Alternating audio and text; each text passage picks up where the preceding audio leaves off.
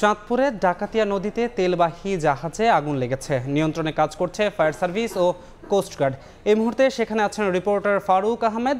সরাসরি যাচ্ছি তার কাছে। চাঁদপুর শহরে যে ডাকাতে নদী আছে, তার মাঝে কিন্তু পদ্মা অয়েল কোম্পানির একটি ট্যাঙ্কার যেটি ওটি সাদিয়া অনিক নামে সেই তেলবাহী জাহাজটি গত শুক্রবার কিন্তু চাঁদপুরে এসে নোঙ্গর করে। এর মধ্যে কিন্তু এতে আমরা যতটা খবর পেয়েছি যে এই যে জাহাজটি আছে, তেলবাহী জাহাজটি, তার প্রায় যে ইঞ্জিন রুমটি আছে, যেখানে ইঞ্জিন থাকে, সেই ইঞ্জিন রুমের জেনারেটর থেকে মূলত অগ্নিকাণ্ডের সূত্রপাত।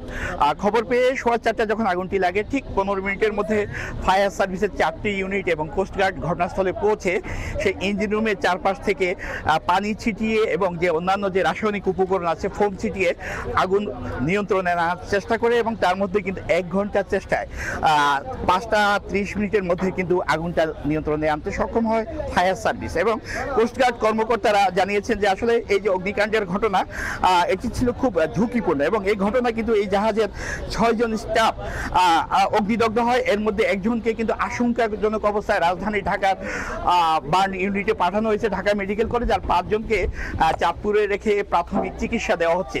তো আমরা এখন যদি দেখাতে চাই যেখানে অগ্নিকাণ্ডের ঘটনাটি ঘটছে, সেখানে, সেটি খুব একটু ধোয়াচ্ছন্ন, যেখানে আসলে আমরা পরিষ্কার করে দৃশ্যটি দেখাতে পারছি না।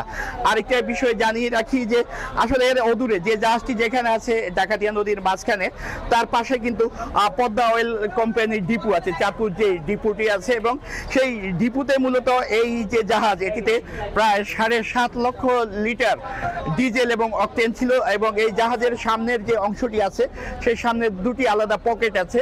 সেই পকেটে মূলত এই জাহাজ তেলগুলো ছিল। অর্থাৎ খুব দাহ্য পদার্থ তবে ফায়ার সার্ভিস এবং কোস্টগার্ড তাৎক্ষণিক তৎপরতায় মূল যে ট্যাঙ্কি, অর্থাৎ এখানে যে তেল ছিল, যেটি জ্বালানি সরবরাহগত পাম্প ডিপোতে, সেটি আসলে অক্ষত রয়েছে আপাতত এখন পর্যন্ত। তবে ইঞ্জিন রুম বলা যেতে পারে যে পুরোপুরিভাবে ক্ষতিগ্রস্ত হয়েছে এবং ফায়ার সার্ভিস কর্তৃপক্ষ জানিয়েছে যে তারা একবারে পুরোপুরি আগুন নিয়ন্ত্রণ করে তারা ঘটনাস্থল ত্যাগ করবেন এবং তারা জানিয়েছেন যে তাদের যে চারটি ইউনিট কাজ করেছে, সেখানে সেখানে সড়ক এবং নৌপথেও তারা কিন্তু কাজ করেছে। আরেকটি তথ্য জানিয়ে রাখি যে আসলে চাঁদপুরের যেই, এই ডাকাতিয়া পারে কিন্তু এই ছাড়াও আরও দুটি তেল কোম্পানির ডিপো আছে। এ ছিল আমার কাছে চাঁদপুরে পদ্মা অয়েল ডিপুর অদূরে অয়েল ট্যাঙ্কারে অগ্নিকাণ্ডের সবশেষ তথ্য। সরাসরি যুক্ত ছিলাম চাঁদপুর থেকে।